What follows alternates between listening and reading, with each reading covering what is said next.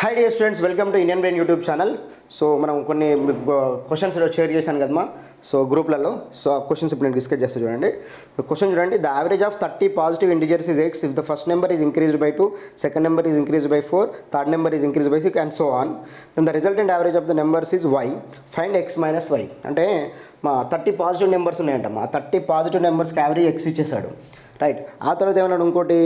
మళ్ళీ ప్రతి నెంబర్కి ఫస్ట్ దానికి ఏమో టూ సెకండ్ దానికి ఫోర్ థర్డ్ దానికి సిక్స్ ఫోర్త్ దానికి ఎయిట్ అట్లా వెళ్తూ వెళ్తూ అన్ని థర్టీ నెంబర్స్ పెంచుకుంటూ పోవాలి. అలా పెంచుకుంటూ పోయినాక వచ్చిన యావరేజ్ అంటే సగటు ఇచ్చాడు డైరెక్ట్ వై అట. ఆ ఎక్స్కి వైకి డిఫరెన్స్ ఏందని అడుగుతాడు. అంటే ఎక్స్ అనేది పెంచక ముందుగా సగటు అంటే యావరేజ్. వై అనేది పెంచిన తర్వాత సగటు. అంటే ఎక్స్కి మైనస్ వై చేస్తే వచ్చేది నెగిటివ్ ఆన్సర్. అవునా కదా? కానీ ఇక్కడ అన్ని పాజిటివ్లో ఆప్షన్ ఇచ్చాడు ఒకటి నన్ను ఇచ్చాడు కూడా ఆన్సర్ నన్ను డైరెక్ట్. రైట్? కాకపోతే దాని ఎట్లా దాని సొల్యూషన్ ఏంటి? ఎలా చేసుకుంటాం మనం అంటే ముందు థర్టీ నెంబర్స్ నాకు తెలియదు కాబట్టి x one plus x two plus up to డాడా dash plus x thirty numbers ఉన్నాయమ్మా. వీటి యొక్క యావరేజ్ ఎంత ఇచ్చాడు? బై థర్టీ ఇయర్స్ వచ్చే వాల్యూ ఇచ్చాడమ్మా. సో యావరేజ్ వచ్చేసి సో ఎక్స్ ఇచ్చాడు. అవునా? డివైడ్ బై థర్టీ ఇయర్స్ వచ్చేది. రైట్ ఇప్పుడు ఏమంటున్నాడు అంటే each number is increased by each number is increased by two అంటే ఇప్పుడు ఈ ఫస్ట్ ఫస్ట్ నెంబర్ ఏమో ఎక్స్ వన్కి ప్లస్ టూ యాడ్ చేయాలంట. ఎక్స్ టూకి ప్లస్ ఫోర్ యాడ్ చేయాలంట. చూడండి డైరెక్ట్ ప్లస్ ఎక్స్ త్రీకి ప్లస్ సిక్స్ యాడ్ చేయాలి. ఇలా వెళ్తూనే ఉంది ఇంకా. అప్పుడు మళ్ళీ డివైడెడ్ బై థర్టీ చేస్తే వచ్చే విలువ ఏంటంటే వై అట.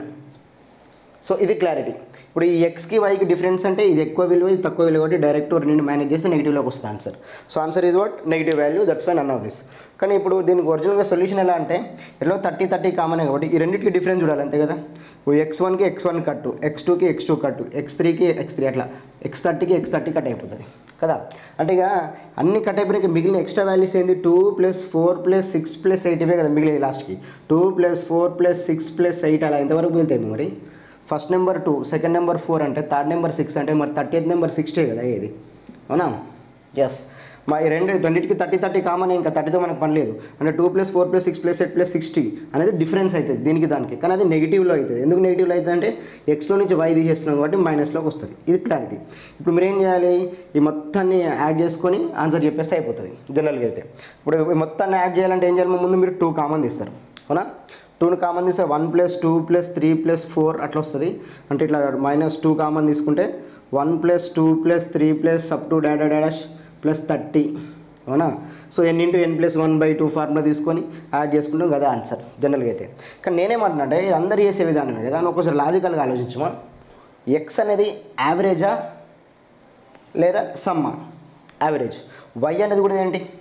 యావరేజ్ ఎక్స్ అనేది యావరేజ్ వై అనేది యావరేజ్ అవునా? డిఫరెన్స్ తీసుకోవాలంటే యావరేజ్లో డిఫరెన్స్ అడుగుతున్నాడు వాడు. అంటే ఈ థర్టీతో మనకు పని లేదు ఇంకా. ఈ థర్టీతో మనకు పని లేదు మా.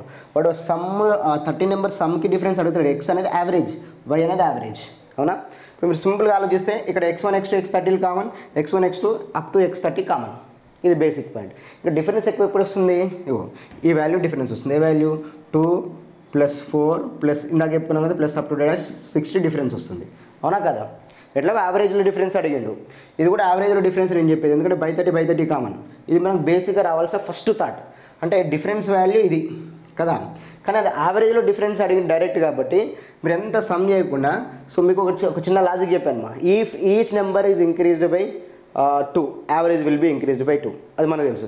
If each number is separate by two average will be separate by two or if the gap is same gap is same middle number is average అవునా కదా? మరి ఈ సిరీస్కి మిడిల్ నెంబర్ యావరేజ్ తీసుకుంటే అయిపోతుంది కదా? ఎందుకంటే యావరేజ్లో డిఫరెన్స్ అడుగుతున్నాడు. మరి దీనికి డైరెక్ట్ యావరేజ్లో డిఫరెన్స్ తీసుకుంటే సరిపోతుంది కదా? అంటే దీనికి యావరేజ్ ఇప్పుడు ఇదే కదా డిఫరెన్స్ వాల్యూ ఇదే డిఫరెన్స్ వాల్యూ అయినప్పుడు దీని యావరేజ్ కదా? ఆన్సర్ అంటున్నా. Yes sir know how to find the average of a series first number plus last number by two so two plus sixty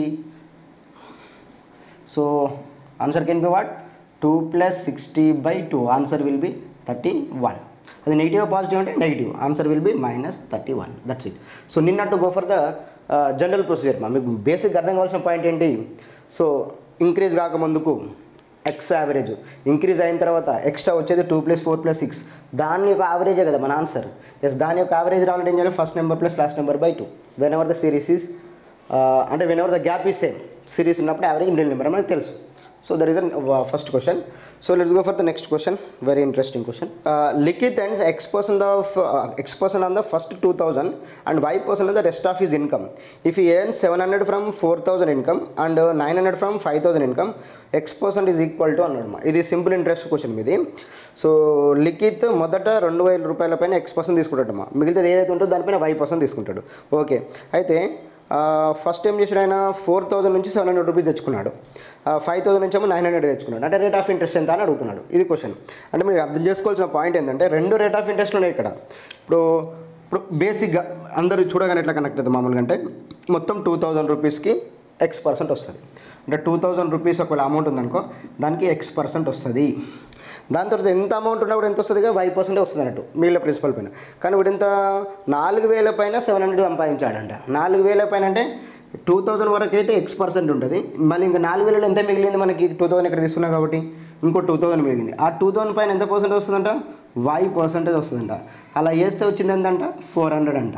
ఇది పడిచిన కాన్సెప్ట్ ఇదే కదా పడిచింది క్లియర్గా రైట్ అంటే మొత్తం ఫోర్ థౌసండ్ పైన seven hundred seven hundred rupees yeah seven hundred rupees వస్తుందంట. ఇది equation number one right అంటే అందరు కనెక్ట్ అయ్యే విధానం చెప్తున్నాను నేను.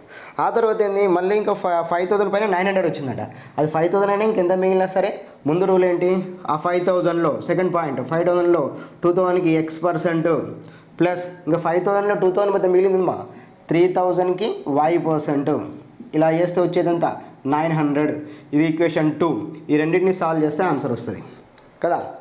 ఇది మనకందరికీ తెలిసిన విషయం కానీ మీరు ఇలాంటి క్వశ్చన్ చూసినప్పుడు ఎలా కనెక్ట్ అవ్వాలి అనేది పాయింట్ అంటే లాజికల్గా ఆలోచిస్తే ఇక్కడ సెవెన్ హండ్రెడ్ వచ్చింది ఇక్కడ నైన్ హండ్రెడ్ వచ్చింది. ఇక్కడ సెవెన్ హండ్రెడ్ వచ్చినా ఇక్కడ నైన్ హండ్రెడ్ వచ్చినా ఒక పర్టికులర్ పార్ట్ ఏ పర్టికులర్ పార్ట్ టూ థౌజండ్ అనే పార్ట్కి అయితే కంపల్సరీ ఎక్స్ పర్సెంటే ఉంటుంది. తర్వాత ఏదైతే వస్తుందో వై పర్సెంట్ ఉంటుంది. అవునా కదా? అప్పుడు మీరు బాగా అర్థం చేసుకున్న బేసిక్ పాయింట్ ఏంటంటే చూడగానే మీరు కనెక్ట్ అయిపోవచ్చు మా ఇక్కడ ఎంత ఇన్వెస్ట్మెంట్ మొత్తం? ఫోర్ థౌజండ్ ఇక్కడ ఎంత ఇన్వెస్ట్మెంట్ ఫైవ్ థౌజండ్ అయితే ఈ ఫోర్ థౌజండ్ అండ్ ఫైవ్ థౌజండ్లో చూడండి మీ వే ఆఫ్ థింకింగ్ ఎట్లుండాలో. ఈ ఫోర్ థౌజండ్ ఫైవ్ థౌజండ్లో చూడండి బాగా ఆలోచించండి.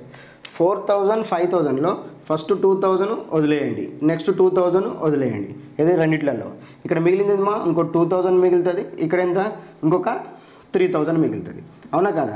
ఈ టూ థౌజండ్ టూ థౌజండ్ అనేది ఇది మొత్తం ఫోర్ థౌజండ్లో టూ థౌజండ్ పార్ట్కి ఎక్స్ పర్సెంటేజ్ ఈ మొత్తం ఫైవ్ థౌసండ్లో టూ థౌసండ్ పార్ట్కి మాత్రం ఎక్స్ పర్సెంటేజ్ అంటే దీనికి వాల్యూ లేనట్టే కదా.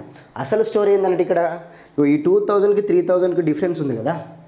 ఈ డిఫరెన్స్లో ఇప్పుడు దీని మొత్తానికి ఎంత వచ్చింది మనకి యావరేజ్ చూడండి ఒకసారి. దీని మొత్తానికి యావరేజ్ ఎంత ఐ మీన్ అమౌంట్ ఎంత వచ్చింది? సెవెన్ హండ్రెడ్ వచ్చింది. దీని మొత్తానికి ఎంత వచ్చిందో? నైన్ హండ్రెడ్ వచ్చింది. ఇది ఓకే కదా అందరికీ? రైట్ మా సెవెన్ హండ్రెడా నైన్ హండ్రెడా ప్లస్ సెవెన్ హండ్రెడ్ వచ్చింది నైన్ హండ్రెడ్ వచ్చింది. లిజన్ కేర్ఫుల్ ఇప్పుడు మీరు బాగా అర్థం చేసుకోవాల్సిందంటే ఈ టూ థౌసండ్ అయినా ఈ త్రీ థౌసండ్ అయినా ఒకే రేట్ ఆఫ్ ఇంట్రెస్ట్ కదా? ఇప్పుడు వై అనే రేట్ ఆఫ్ ఇంట్రెస్ట్ కదా? ఆ వై అనే రేట్ ఆఫ్ ఇంట్రెస్ట్ తెలిసిపోతే నాకు సరిపోతుంది. వై అనే రేట్ ఆఫ్ ఇంట్రెస్ట్ తెలుసుకోవచ్చా? తెలుసుకోవచ్చు. ఇప్పుడు చూడండి మా. సమ్లో డిఫరెన్స్ చూడండి. ఐ మీన్ త్రీ థౌసండ్కి టూ థౌసండ్కి డిఫరెన్స్ ఎంత ఉందమ్మా? సో థౌసండ్ రూపీస్ ఉంది. అవునా? ఈ థౌసండ్ రూపీస్ పైన వై పర్సెంట్ కౌంట్ చేస్తే డిఫరెన్స్ ఎంత వచ్చింది చూడండి మా? టూ హండ్రెడ్ రూపీస్ వచ్చింది. అచ్చా. థౌసండ్ రూపీస్కి టూ హండ్రెడ్ వచ్చింది. థౌసండ్ రూపీస్కి టూ హండ్రెడ్ వచ్చింది. జాగ్రత్త థౌజండ్ థౌసండ్ రూపీస్కి టూ హండ్రెడ్ రూపీస్ వచ్చిందంటే మరి టూ థౌసండ్ రూపీస్కి ఎంత వస్తుంది అన్నట్టు ఫోర్ హండ్రెడ్ రూపీస్ వస్తుంది. అవునా? ఈ లాజిక్ అర్థమైందా? మళ్ళీ ఒకసారి థౌజండ్ రూపీస్కి టూ హండ్రెడ్ రూపీస్ వచ్చింది. మరి టూ థౌసండ్ రూపీస్ ఉంటే ఎంత వస్తున్నట్టు ఫోర్ హండ్రెడ్ వస్తున్నట్టు అంటే ఈ సెవెన్ హండ్రెడ్లో సారీ ఇది సెవెన్ హండ్రెడ్లో సెవెన్ హండ్రెడ్లో ఫోర్ హండ్రెడ్ అనేది ఈ టూ థౌజండ్ పైన వచ్చింది. మరి మిగిలిన టూ థౌసండ్ పైన ఎంత వచ్చింది అన్నట్టు మొత్తం సెవెన్ హండ్రెడ్ రావాలి కదా. ఫోర్ థౌసండ్ వచ్చి ఫోర్ హండ్రెడ్ వచ్చింది కదా. ఇంకా మిగిలిన త్రీ హండ్రెడ్ దేనిపైన వస్తుందమ్మా? ఈ టూ థౌసండ్ పైన వస్తుంది. రేట్ ఆఫ్ దొరికిపోయినట్టే కదా. మళ్ళీ మళ్ళీ మళ్ళీ ఒకసారి అండి జాగ్రత్త దీంట్లో part two thousand two thousand common. అది ఎక్స్ పర్సెంట్ వదిలేసిన. ఇంకా వై పర్సెంట్ కోసం మిగిలింది two thousand and three thousand వీటిలో డిఫరెన్స్ తీసుకుంటే ఎంత వచ్చింది మనం నాకు థౌసండ్ థౌసండ్ పైన సమ్ పర్సంటేజ్ కౌంట్ చేస్తే డిఫరెన్స్ ఎంత రావాలి? టూ హండ్రెడ్ రావాలి. థౌసండ్కి టూ హండ్రెడ్ వస్తుందంటే ఖచ్చితంగా అంటే రెండింటికి సేమ్ రేట్ ఆఫ్ ఇంట్రెస్ట్ ఇంకా. అంటే థౌసండ్కి టూ హండ్రెడ్ వచ్చిందంటే ఈక్వల్ టూ థౌసండ్ అంటే ఫోర్ హండ్రెడ్ వస్తుంది అంటే ఈ సెవెన్ హండ్రెడ్లో సెవెన్ హండ్రెడ్లో వై పర్సెంట్కి ఏమో ఫోర్ హండ్రెడ్. ఎక్స్ పర్సెంట్కి ఏమో త్రీ హండ్రెడ్. ఇది లాజిక్.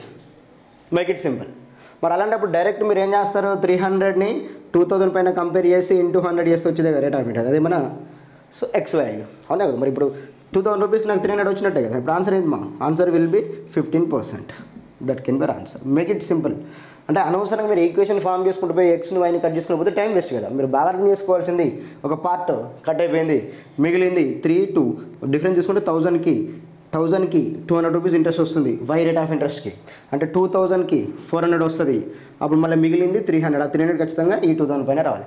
లేదు సార్ మీరు టూ థౌజండ్కి ఎందుకు తీసుకుంటే టూ థౌసండ్కి ఎందుకు తీసుకున్నా నేను త్రీ థౌసండ్ తీసుకుంటే తీసుకుంటే ఎవరు వద్దన్నారు? ఏదైనా అదే కదా లాజిక్ నెవర్ ఫెయిల్స్ చూడండి ఇప్పుడు థౌసండ్ టూ హండ్రెడ్ అయితే త్రీ థౌసండ్ కింద సిక్స్ హండ్రెడ్ వస్తుంది. అంటే ఈ నైన్ హండ్రెడ్లో సిక్స్ హండ్రెడ్ వరకు అన్నట్టు ఈ పార్ట్కి మరి ఇంకా మిగిలిన త్రీ హండ్రెడ్ ఏందన్నట్టు ఈ పార్ట్ ఎట్లయినా two three hundred should be compare about two thousand అంటే ఈ లెవెల్ ఆఫ్ ప్రాక్టీస్ మీకు అలవాటు అవుతే సో ప్రతి క్వశ్చన్ని మీరు ఈజీగా సాల్వ్ చేయడానికి టైం ఛాన్స్ ఉంటుంది మా ఐ హోప్ అర్థమైంది అనుకుంటా. అర్థమైతే మళ్ళీ మళ్ళీ రివైన్ చేయండి. ఇంకా ఏమైనా డౌట్ ఉంటే నాకు జస్ట్ నా నెంబర్కి వాట్సాప్ చేయొచ్చుమా నేను గ్రూప్లో కూడా యాడ్ చేస్తాను. Okay I hope you are enjoying all the best your nursing sir